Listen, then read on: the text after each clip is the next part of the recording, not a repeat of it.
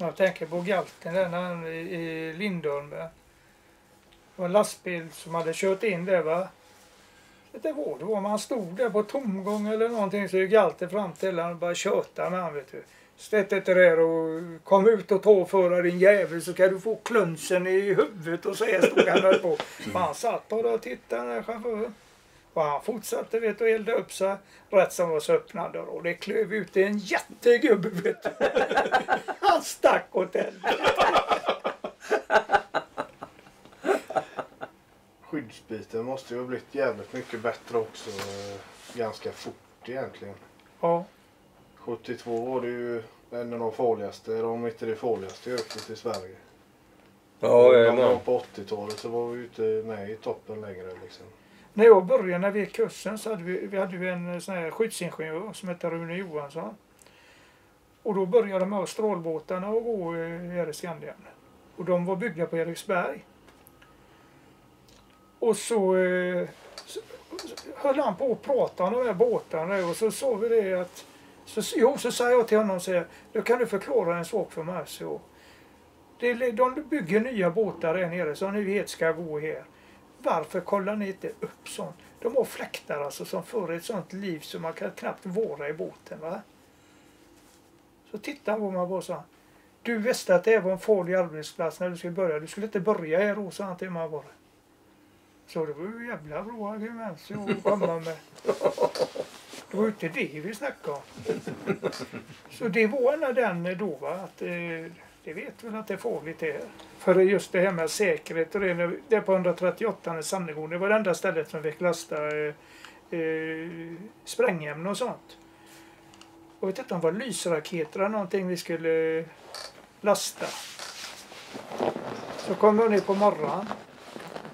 Och så går ner och tittar. Och då ska det vara brandslangar och sånt framdraget innan man sätter igång. Va? Men det fanns ingenting.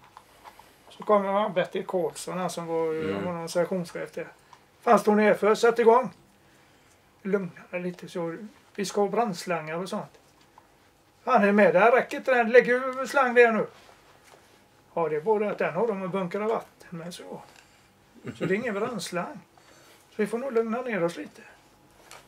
Och då kom de ju sedan, det- brandkåren kom ju vet du och så riggade upp och så. Va? Men det var så bråttom och så var det bättre att börja innan vet du. Vem är gubben i slips där då? Ingen aning. Vet du vad det är för? Nej. Om inte det, är något på transport. Fan att den ska se så jävla rolig Det var ju problem bara att få ut landgångsnät. Ja, det var ett jädra landgångsnät, ja. jag vet en del de, hade, de, de tyckte det var så löjligt. Vad ska ni ha det till? Ja, Och, och det var ju- jag vet Lemmar han var ju stenhård på det. Vi, ingen går ombord. Och så var det, det var ett par gubbar som kritiserade honom en gång. Så gick de upp på en isländare så rack, gick fallrepet rätt då vet du. Ramlade rätt ner och fastnade i nätet. Så de låg där och sprattlade. Det kan vara fram till dem sa han, det kanske var rätt gött att ha nätet nu va? Annars har de legat mellan båten och kajen. vet du. Mhm. Om man ser tillbaka på, på det som har varit och så. Ni har ju ändå varit med och byggt upp den här fackföreningen. Liksom. Vad, är, vad är ni mest stolta över om man säger så? Vad, vad är ni inte Att den så finns nöjda kvar. Det är faktiskt jävligt starkt. Ja. Och en sak som jag tänkt, varje gång det har kommit en ny, en ny ordförande eller en ny förtroendeman, någon som, eller när någon, när någon ska lägga av, så säga, hur fan ska det gå nu? Så kommer det en som är lika bra. Och det går hela tiden, det kommer nytt folk hela tiden. Och det är faktiskt, det är inte dåligt för jag menar om du Ja. räknar många medlemmar som vi har, de är, jag menar LO, de har hur många tusen, ja nu är de snart borta de har de försvinner men de har ju inte ett skit. De har hotat några gånger. Är det något jag har glömt? Det är säkert. Något Det är du muck, det är muckemorro. Åh, En mucke som är glömd.